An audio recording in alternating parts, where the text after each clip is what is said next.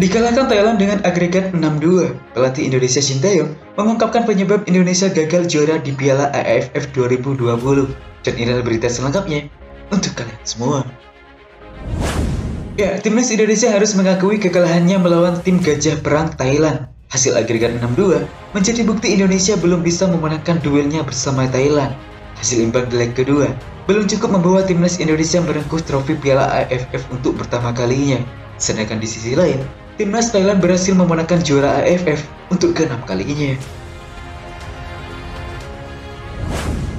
Ya, berbicara tentang data di atas, pelatih Indonesia membeberkan alasannya tentang penyebab Indonesia tidak juara AFF kali ini. Pelatih asal Korea Selatan itu mengatakan minimnya pengalaman para pemain yang dibawa. Di sisi lain, Shin Tae-yong mengatakan bahwa timnas Indonesia diisi para pemain muda yang notabene masih butuh banyak menit bermain. Jelas-jelas para pemain kami masih muda, jadi kelihatan juga di leg pertama final AFF 2020. Kurangnya pengalaman pemain kami, tapi di leg kedua kami bermain baik meski hasilnya imbang. Berdasarkan pengalaman-pengalaman seperti ini, kami pasti bisa maju ke depan.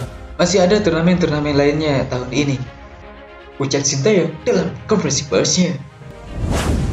Ya, di balik kekalahan timnas Indonesia melawan Thailand pada leg kedua ini, Sintayong mengatakan puas dengan penampilan timnas Garuda yang sanggup menahan imbang Thailand 2-2 harus tetap optimis, prospek jangka panjang permainan Indonesia semakin bagus dengan pilihan-pilihan permainan yang modern, menjaga mental yang kuat, meskipun tetap berada di runner-up untuk keenam kalinya.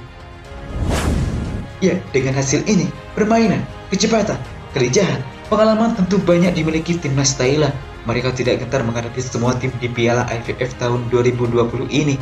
Kerja keras dan etos kerjanya perlu ditingkatkan di timnas Indonesia untuk mencontoh tim Gajah Perang timnas Thailand.